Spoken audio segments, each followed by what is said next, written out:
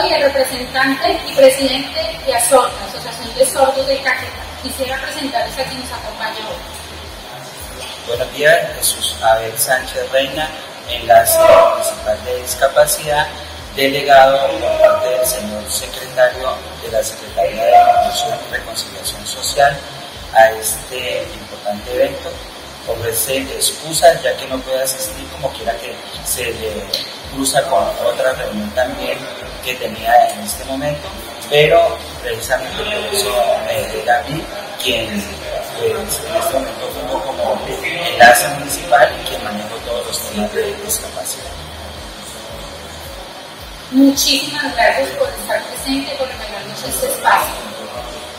¿Sabe qué se está conmemorando hoy, 11 de octubre, eh, a cargo de la ley 324? Claro, por supuesto. Digamos que se conmemora o se celebra, eh, digamos, un hecho importante como es el lenguaje de señas. Digamos que este ha sido elevado como la lengua eh, materna, digamos, de alguna manera, de las personas con discapacidad eh, auditiva. Muy bien, muchas gracias.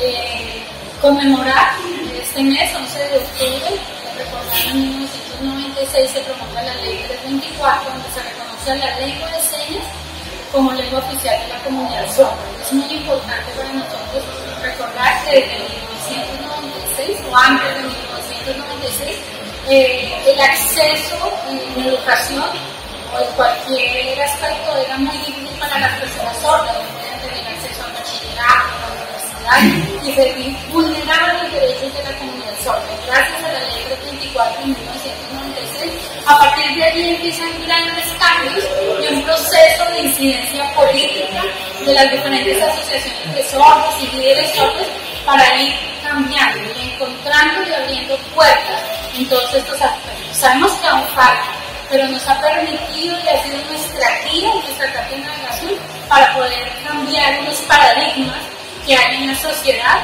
y ir visibilizando a las personas sordas y permitiendo la inclusión y el acceso a muchos campos. Aún nos faltan, nos faltan muchos, pero ojalá que con el apoyo y de todas las personas con discapacidad, con el apoyo de todo lo que es la política pública de discapacidad, nos permita. Aún hay falencias, eh, de pronto no hay acceso en todas las entidades, en la parte laboral, en la parte médica, de hospitales, aún falta el acceso aquí en Florencia, pero sabemos que se ha venido trabajando en conjunto junto con esta ley y gracias a que existe esta ley que nos permite ir luchando por nuestros derechos. Eh, la ley 324 es para nosotros muy importante porque marca un comienzo y el compromiso que se ha adquirido con todas las entidades, como ustedes, como alcaldía, como Secretaría de Inclusión Social, eh, que nos permite. Sabemos que pero estamos ya haciendo cambios y queremos que todos los aspectos, diferentes situaciones que se compliquen, que hay barreras que no nos permiten tener este acceso, pero el trabajo que se está haciendo en conjunto con esta secretaría sabemos que se va a lograr para que las personas con discapacidad vayamos abriendo puertas a partir.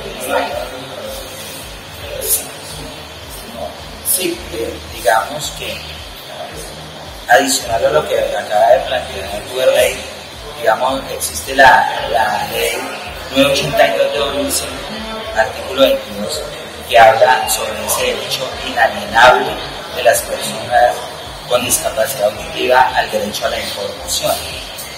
A raíz de ello, y a propósito de que desde la coordinación de, eh, del programa de discapacidad hemos estado adelantando el proceso de elaboración de la política pública, también hemos considerado que allí deben de quedar acciones importantes con el fin de restablecer derechos fundamentales como el derecho a la información de las personas con discapacidad auditiva.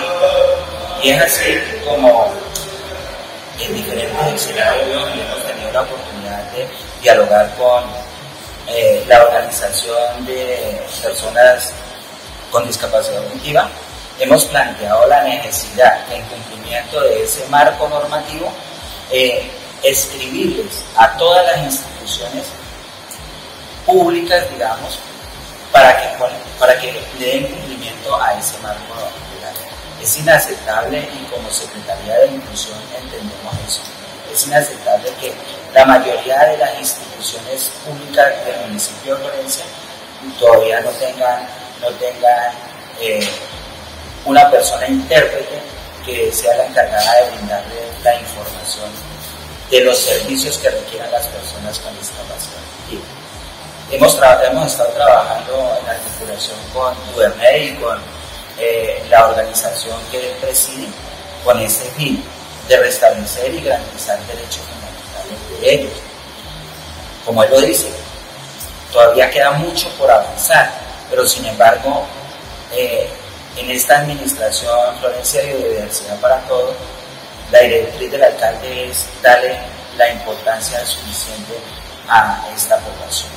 Entonces, nosotros, con mucho gusto, eh, y le decía hace un momento, eh, extra micrófono, digamos, le ofrecía excusa porque, digamos, dejamos como pasar por alto esta conmemoración, en el entendido de que no salimos a la opinión pública o no salimos al público a manejar eh, pues este, este importante hecho, pero sí digamos que nosotros hemos estado muy interesados en generar acciones concretas, insisto, con el fin de que comencemos a generar la cultura suficiente, no queremos, digamos, chocar con otras instituciones, pero sí aprovecho este, este espacio para hacer un llamado para que generemos esos espacios para los intérpretes, intérpretes en, lo posible idóneos que manejen el lenguaje de señas con el fin de garantizarles este derecho fundamental a la información,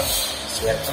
Y qué bueno que también, digamos, las instituciones de educación y en la política pública, así lo hemos estado planteando, que se culturice este tema del lenguaje de señas.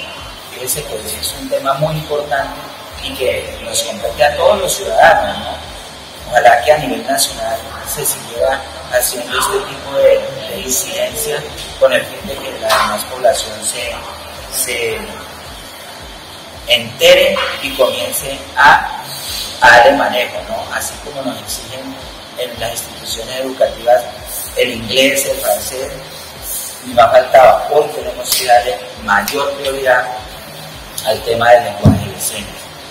Este es el lenguaje materno o paterno, no sé cómo llamarlo, si estará bien utilizado el término, para la población sorda, digamos. Entonces, desde ahí tenemos que comenzar a trabajar. De hecho, desde la Secretaría de Inclusión Social y con nuestra intérprete, que es Jensi Molina, eh, para la otra semana tenemos pensado, eh, digamos, eh, desarrollar un pequeño taller eh, de motivación con los funcionarios desde la Secretaría de Inclusión Social para comenzar a generar este tipo de, mecánicas, de incidencia, para que, vuelvo y le digo, una Secretaría como de Inclusión, pues como que sea la, el ejemplo para que este proceso sea una realidad en Florencia y en el Caquetá. Y qué bueno que nosotros seamos ejemplo, como lo hemos venido haciendo durante con el tema del comité municipal que a bien ustedes lo han entendido y que es un escenario que se ha organizado con el fin de darle mm, la mayor importancia porque de ahí salen muchos temas que pueden ser debatidos con la administración municipal, que pueden ser concertados y que desde luego pues para todos van a ser beneficiosos para cada uno de los tipos de discapacidad de, de los cuales ustedes no son ajenos. Yo quiero aprovechar este escenario para darle las gracias a todas las personas con discapacidad, a las organizaciones de personas con discapacidad que han entendido la importancia de tener organizado sus organizaciones, pero también de organizar el Comité Municipal de Discapacidad, que fíjense que hoy somos ejemplo a nivel municipal, y eso es por que ustedes se han interesado en que esto se dé.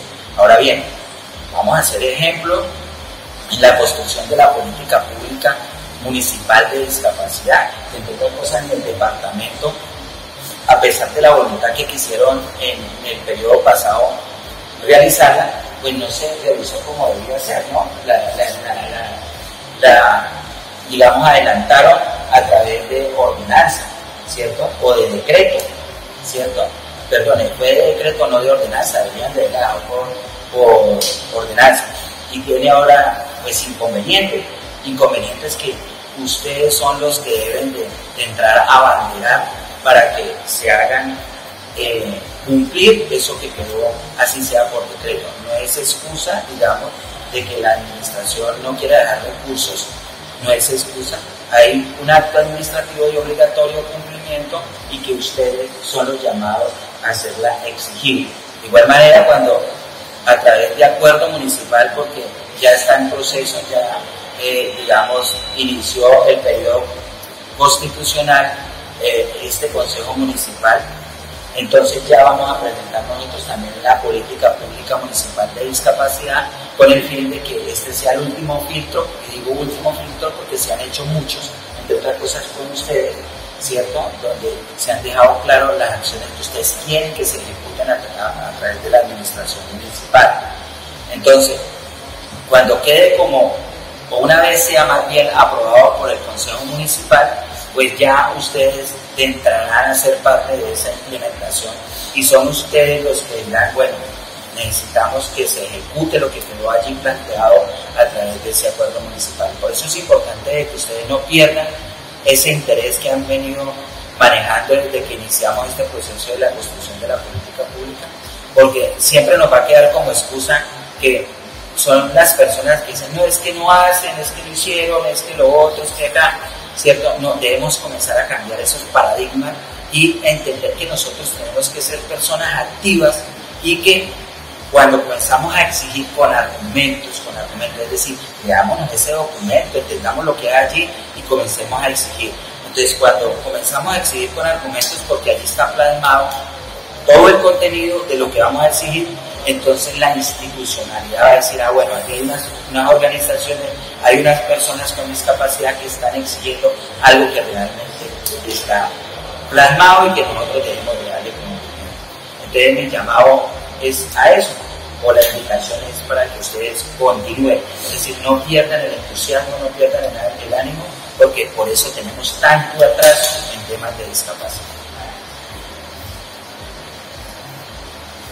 Muchísimas gracias. Esa explicación, todo lo que nos acaba de contar, fue muy, muy claro y sí, tiene razón en todo el trabajo que se ha venido haciendo y queremos que se siga haciendo. Y hoy que conmemoramos ley 24, como se mencionaba la ley 289, es importante que se siga, y estamos comprometidos, que se siga estamos comprometidos a la divulgación de esta ley. Muchas gracias por eh, estar aquí, por su compromiso con la comunidad sorda y por acompañarnos. No, por supuesto, muchas gracias a ustedes por la invitación. Desde la Secretaría de Inclusión Social, desde la coordinación del programa Discapacidad, ustedes saben que las puertas están abiertas. Eh, mm, quien les habla, por supuesto, ustedes saben que estaba a la mejor disposición, cualquier orientación jurídica, cualquier orientación que podamos dar en torno a cualquier inconveniente o problemática que tengan, estaré con la mejor disposición de atenderlos y, y sacar adelante con ustedes. Bien, listo, muchas gracias.